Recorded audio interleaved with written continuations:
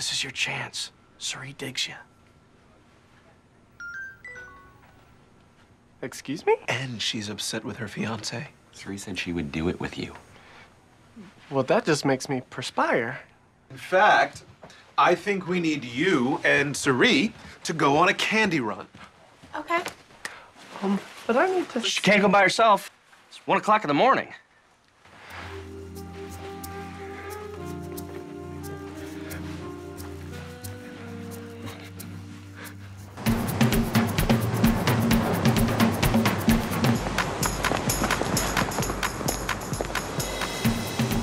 Are you coming? Let's stall for a minute. It's so boring up there anyway. You know, ours is just so immature sometimes. That's why I like you kind of. You're an old soul. Thank you. My mama thinks so too. In fact, she's pretty sure I'm the reincarnated soul of Adrian Twyford. He was our town minister who died in an organ fire. Oh, he keeps texting me to meet him downtown at his club, even though he knows I'm working.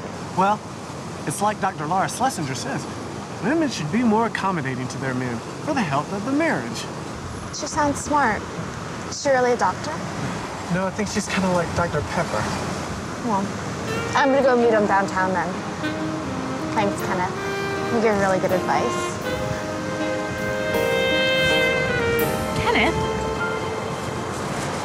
What? How dare you? You're so weird. tell Liz I left, okay? Oh, and if you want to tell those guys upstairs that we made out, it's all right with me. Snacks! What happened? So, tell us. None of your beeswax. He blew it. Way to go, loser. Oh, yeah? If I blew it, then how did I get her underpants?